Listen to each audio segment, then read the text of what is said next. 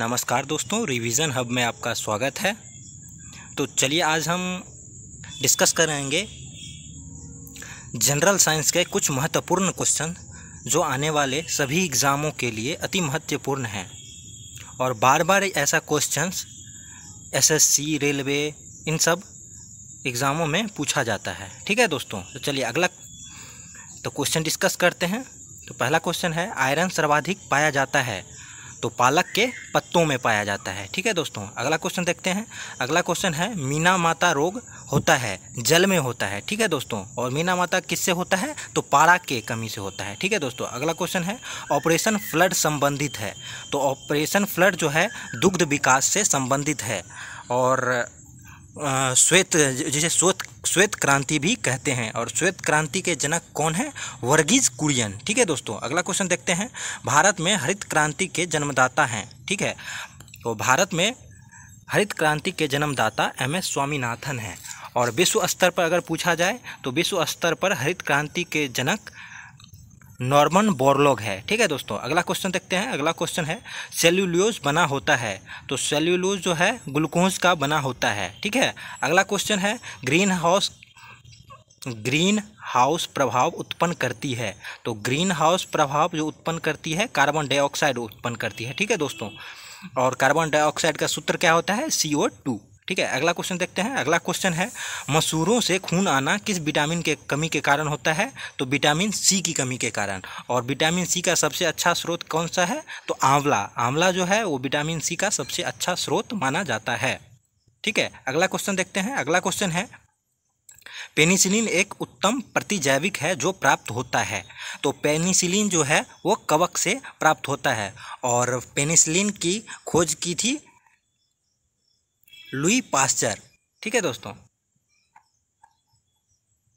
अगला क्वेश्चन देखते हैं। इंजाइम एक विशेष प्रकार का होता है। तो इंजाइम एक विशेष प्रकार का पैरोटीन प्रोटीन होता है। तो ठीक है, अगला क्वेश्चन देखते हैं।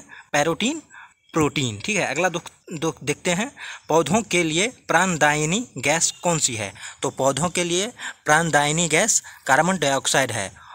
और पौधा कौन सी गैस छोड़ती है? तो पौधा जो है वो ऑक्सीजन गैस छोड़ती है, ठीक है दोस्तों? और पौधा अपना भोजन प्रकाश संश्लेषण के द्वारा करती है। अगला क्वेश्चन देखते हैं। अगला क्वेश्चन है, कोशिका भित्ति पाई जाती है। तो कोशिका भित्ति जो है, वो पादप में पाई जाती है। जबकि कोशिका झिल्ली की बात करें तो कोशिका झिल्ली, पादप और जंतु कोशिका दोनों में पाई जाती है, ठीक है? अगला क्वेश्चन देखते हैं। अगला क्वेश्चन है, क्लोरोप्लास्ट पाया जाता है। तो क्लोरोप्लास्ट जो है, सिर्फ़ पादप कोशिका में पाया जाता है। और वो भी क्लोरोफिल के अंदर क्लोरोप्लास्ट पाया जाता है। अगला क्वेश्चन देखते हैं। अगला क्वेश्चन है, अर्ध, अर्धसूत्री विभाजन होता है। तो अर्धसूत्री विभाजन केवल जनन कोशिका में होता है, ठीक है? अगला क्वेश्चन देखते हैं। लाल व भूरे शैवाल पाए जाते हैं। तो लाल और भूरे शैवाल समुद्र में पाए जाते हैं, ठीक है दोस्तों? अगला क्वेश्चन देखते हैं। पनीर बनाने में काम आता है। तो पनीर बनाने में कवक काम आता है, जिसका क्या नाम है? एप्स जिकल्स ठीक है? तो अगला क्वेश्चन देखते हैं। मनुष्य में दाद रोग होता है। तो मनुष्य में दाद, खाद, खुजली ये सब जो होता है, वो कवक के द्वारा होता है। ठीक है दोस्तों, अगला क्वेश्चन देखते हैं। अगला क्वेश्चन है, एक ग्राम वसा में ऊर्जा प्राप्त होती है। तो एक ग्राम वसा में नाइन कैलोरी ऊर्जा प्राप्त होती है। ठीक है, अगला क्वेश्चन देखते हैं। अगला क्वेश्चन है, एंटीबॉडी के निर्माण में सहायता होता है। तो एंटीबॉडी के निर्माण में पैरोटीन, प्रोटीन जो होता है, वो सहायता करता है। ठीक है, अगला क्वेश्चन देखते हैं। अगला क्वेश्चन है, नारियों को स्वस्थ रखता है तथा हृदय की हृदय की धड़कन को संकुचित करता है।